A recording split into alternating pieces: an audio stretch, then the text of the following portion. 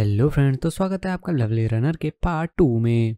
तो part two की शुरुआत उसी जगह से होती है जहाँ पर पिछला पार्ट एंड हुआ था, जहाँ हिंजू इमसोल को सोनजे के होने वाले कॉन्सर्ट पर छोड़कर चली गई थी, जहाँ पहले से ही एक और लड़की इमसोल का वेट कर रही थी। इमसोल सोनजे के कॉन्सर्ट के लिए इतनी ज़्यादा एक्साइटेड थी कि वो उसके कटआउट्स के साथ भी फ़ोटो खिंचाने लगती है। पर तभी उसकी नज़र कुछ लड़कियों पर पड़ती है, जो कि बैंड के किसी और मेंबर की फ़ैन थी और वो सोनजे की बुराई कर रही थी, जिस पर इमसोल अपने साथ उस लड़की को बताती है कि ये वही लड़कियाँ हैं जो सोनजे के बारे में गलत गलत कमेंट्स करती हैं, लेकिन इसके बावजूद भी सोनजे इन्हें अपना फ़ैन समझता है। इमसोल ये बातें कर ही रही थी कि तभी उसे एक आदमी का फ़ोन आता है। वो आदमी इमसोल से कहता है कि उन्हें इमसोल का इंटर्नशिप के लिए रिज्यूमे मिला था और वो लोग उनका इंटरव्यू लेना चाहते हैं और क्या वो अभी इंटरव्यू के लिए आ सकती हैं। इमसोल भी पहले थोड़ा सोचती है, पर फिर इंटरव्यू में जाने के लिए रेडी हो जाती है। अब नेक्स्ट सीन में ही इमसोल भी इंटरव्यू देने के लिए पहुँच चुकी थी। अब कुछ ही देर में वो आदमी भी इमसोल के पास पहुँच जाता है, जिसने उसे इंटरव्यू के लिए कॉल किया था। और वो उससे पूछने लगता है कि क्या वो ही इंटरव्यू के लिए वहाँ पर आई है? सीन शिफ्ट होता है और हमें इमसोल को बिल्डिंग से बाहर आते हुए दिखाया जाता है। जिसे इंटरव्यू में ये कहकर रिजेक्ट कर दिया गया था कि वो उसके साथ काम तो करना चाहते हैं, पर ये बिल्डिंग पूरे थ्री फ्लोर्स हैं और शायद वो यहाँ पर काम नहीं कर पाएगी। इमसोल इस सब की वजह से काफ़ी उदास थी। फिर भी वो अपने आप को मोटिवेट करती है कि अगर ये जॉब उसे नहीं मिली तो क्या हुआ? जल्दी ही उसे कोई और जॉब मिल जाएगी। अब नेक्स्ट सीन में ही इमसोल सोनजे की कॉन्सर्ट वाली जगह पर भी पहुँच जाती है, लेकिन वहाँ जाकर वो देखती है कि सभी लोग पहले ही अंदर जा चुके हैं और वहाँ के गेट्स भी बंद हो चुके हैं। उसी समय वहाँ पर एक लड़की आती है, जिसे देखते ही इमसोल उससे अंदर जाने की रिक्वेस्ट करने लगती है, पर वो लड़की उसे मना कर देती है। इमसोल कहती है की उसकी बस काफ़ी लेट हो गई थी, जिस वजह से वो टाइम से नहीं पहुँच पाई। पर इसके बाद भी जब वो लड़की नहीं मानती तो इमसोल ऐसा दिखाने लगती है कि जैसे उसे बहुत ही ज़्यादा ठंड लग रही है, जिस वजह से वो लड़की भी एग्री हो जाती है। पर वो पहले इमसोल से उसका टिकट मांगती है। इमसोल टिकट ढूँढने लगती है, पर तभी उसे याद आता है कि शायद कुछ सामान निकालते हुए उस बिल्डिंग में ही उसका टिकट गिर गया था। वहीं दूसरी ओर दिखाया जाता है सोंजे को जिसने अपनी परफॉर्मेंस स्टार्ट कर दी थी और उसकी परफॉर्मेंस देखने के लिए हज़ारों लोग वहाँ पहुँचे हुए थे, जो उसकी परफॉर्मेंस को काफ़ी इंजॉय भी कर रहे थे। दूसरी तरफ़ इमसोल को अंदर जाने को तो नहीं मिलता, लेकिन वो बाहर उसकी आवाज़ सुनकर इंजॉय करने लगती है। इसी बीच सोंजे सबसे कहता है कि वो एक गाना परफॉर्म करना चाहता है, जो कि वो पहली बार गा रहा है। वहीं दूसरी ओर इमसोल भी उस गाने को सुनकर अपना फ़ोन चेक करने लगती है कि ये गाना तो उसकी लिस्ट में था ही नहीं। इमसोल को सोंजे का ये नया गाना इतना ज़्यादा पसंद आता है कि वो बहुत ही ज़्यादा इमोशनल हो जाती है। अब कॉन्सर्ट खत्म होने के बाद भी इमसोल ये सोचकर बहुत ही ज़्यादा खुश थी कि उसे सोंजे का नया गाना सुनने को मिला।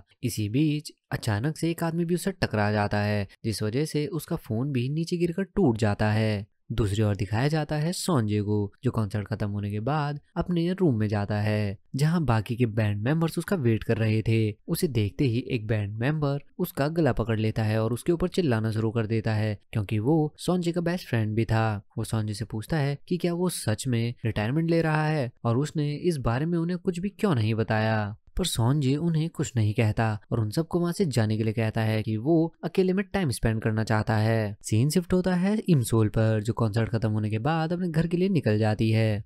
पर वो थोड़ी इरिटेट भी थी, क्योंकि बस स्टॉप भी काफ़ी ज़्यादा दूर था। सोल बस स्टॉप के लिए जाती है, पर बीच में ही उसकी व्हीलचेयर खराब हो जाती है। वो उसे चलाने की कोशिश करती है, पर वो व्हील चेयर नहीं चलती, जिस वजह से इमसोल ये सोच सोच कर रोना शुरू कर देती है कि अब वो यहाँ से घर कैसे जाएगी। उसी समय हमें दिखाया जाता है सोंजे को, जो इमसोल को देख लेता है, और अगले ही पल सोंजे अम्ब्रेला लेकर इमसोल के पास पहुँच जाता है। इमसोल को रोते देख सोंजे उससे पूछता है की वो यहाँ क्या कर रही है। वही इमसोल सोंजे को देखते ही काफ़ी ज़्यादा शौक हो जाती है और कुछ भी नहीं बोल पाती। इमसोल मन ही मन सोचने लगती है की सोंजे उसके सामने है तो उसे उससे कुछ बात करनी चाहिए। पर उसी समय सोंजे देखता है कि इमसोल ठंड से काँप रही है, जिस वजह से वो उसे अपना एक हैंकी देता है और कहता है कि तुम्हें इसकी ज़्यादा ज़रूरत है। ये सब देखकर इमसोल भी रोना शुरू कर देती है और उसे रोते हुए देखकर सोंजे उससे कहता है कि उसने उसे परेशान तो नहीं किया जो वो रो रही है, पर इमसोल उसे कहती है कि वो बहुत ही ज़्यादा खुश है क्योंकि वो उसकी बहुत ही बड़ी फ़ैन है। सोंजे भी कहता है कि उसके हेयर बैंड से पता चल रहा है, जिस पर उसने लिखा है कि किडनैप सोंजे एंड रन, जिसके बाद बाद इमसोल सोंजे को बताना शुरू करती है कि वो सोंजे के लिए एक फ़ैन वेबसाइट चलाती है, जिसे वो पिछले दस साल से चला रही है।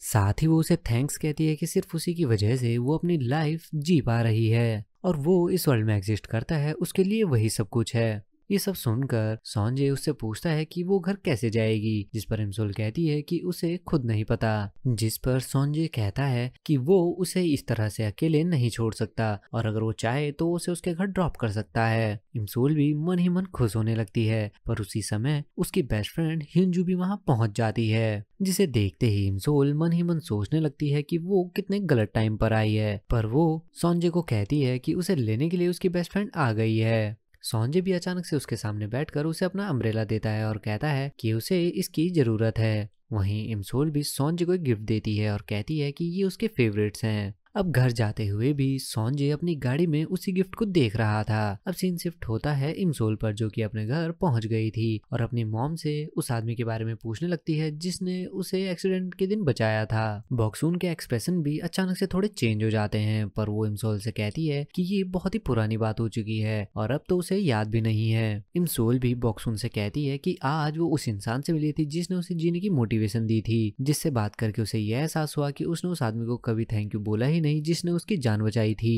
जिसके बाद इमसोल अपने रूम में जाकर सौंजे का दिया छाता देखकर खुश होने लगती है। साथ ही सौंजे की फ़ोटोज़ और उसकी वॉच देखकर इमसोल मन ही मन बहुत ही ज़्यादा खुश होने लगती है। इसी बीच दिखाया जाता है सौंजे को, जो कि अपने घर की बालकनी में खड़ा था। यहीं पर उसके रूम में बहुत सारी मेडिसिन भी दिखाई जाती है। साथ ही दो एम्प्लॉयज़ को भी दिखाया जाता है, जो की पुल के पास खड़े होकर आपस में बात कर रहे थे की तभी अचानक से कोई पुल में गिरता है और ये आदमी कोई और नहीं बल्कि सौंजे ही था, जो पुल में गिर गया था। वहीं दूसरी ओर इमसोल के फ़ोन पर भी एक के बाद एक मैसेज आना शुरू हो जाते हैं कि सौंजे ने सुसाइड करने की कोशिश की है। इमसोल ये पढ़कर काफ़ी ज़्यादा डिस्टर्ब हो जाती है। ये सोचकर कि कुछ ही देर पहले तो वो सौंजे से मिली थी तो ये कैसे हो सकता है? पर उसी समय उसके फ़ोन पर उसे एक वीडियो भी आती है, जिसमें दिखाया जाता है कि सौंजे को पूल से निकालने के बाद उसे सीपीआर दिया जा रहा था। साथ ही उसे ये भी पता चल जाता है कि सौंजे को किस हॉस्पिटल में एडमिट किया गया है।